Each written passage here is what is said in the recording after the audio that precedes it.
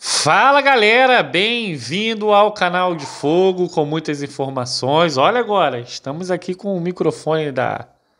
Depende aí o que você quiser. Né? Eu ia falar da, da, Globo, mas muita gente não gosta, então é, escolhe aí o microfone, mas na verdade é o microfone do canal de Fogo. Isso, isso.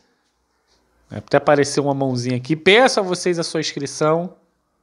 Se inscreve no canal, ative o sininho.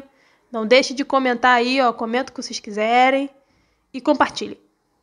E a gente vai trazer uma super cobertura lá de Minas Gerais, né? Por isso a gente está com essa produção toda. Então peça aqui a sua inscrição para ajudar o canal e vamos ao assunto. Usa é o, assunto? o assunto é o bilionário é, John Textor e o, os bilionários da Sex Sex Sex que compraram o Vasco.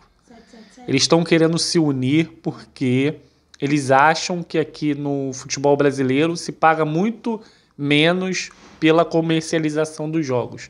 Só para ter um exemplo, lá no futebol espanhol hum.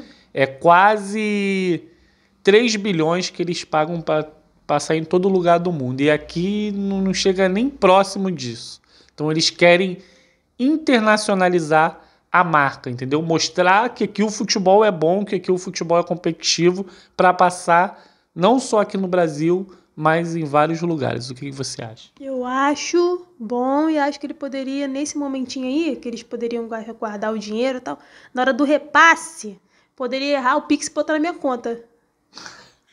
viu, viu, é, viu? Por isso que ela não aparece, porque vocês iam filmar, cara. Aqui pra eu falar. E vocês acham que deveria errar o Pix e botar na conta de vocês? Quem não queria? Quem não ia querer? Você, queria, você gostaria, Diego? Ah, eu gostaria, mas tirando isso, isso daí eu acho muito importante, né? O que ele tenta passar o John Texo é que precisa se unir com todos os clubes, né? E ele sabe, né, que o Flamengo tem a maior torcida, o Corinthians tem a maior torcida e vão receber mais, porque lá no futebol europeu acontece isso. Só que a verdade às vezes dói, né, para o torcedor. Então a gente não quer receber sempre a mesma coisa que o Flamengo, mas a audiência conta. Então ele sabe também que tem dinheiro para botar essa diferença, mesmo que de, de cota de televisão. E é isso, né? Eu acho que o John Tex está num caminho muito bom e, e, daqui a alguns anos a gente vai ser uma potência novamente. A gente já está incomodando. Mas essa proposta está vindo do John Textor? Tá vindo do John Textor e da Sex Sex Sex, né? Que é a que vai comprar o Vasco aí se tudo for aprovado. Eles que estão levantando a bola. É, eles que estão, porque eles são é, gringos, né? São os primeiros aí que tem a comprar um clube, né? No Cruzeiro, no Cruzeiro foi o Ronaldo, o Ronaldo a, o patrimônio do Ronaldo não dá para ele contratar grandes craques, tanto é que ele foi no início, comprou por 400 milhões, aí falou: opa, opa, não, não, não. Ele quer ajudar, mas na profissionalização, mas ele não tem bala na agulha para trazer um monte de craque. Já o John Textor tem e a 777 do Vasco tem. É isso. É isso. O que, que eles merecem?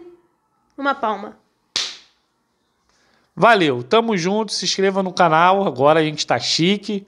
E é isso. Muito obrigado pela audiência de vocês. Qualquer novidade a gente volta, independente da hora.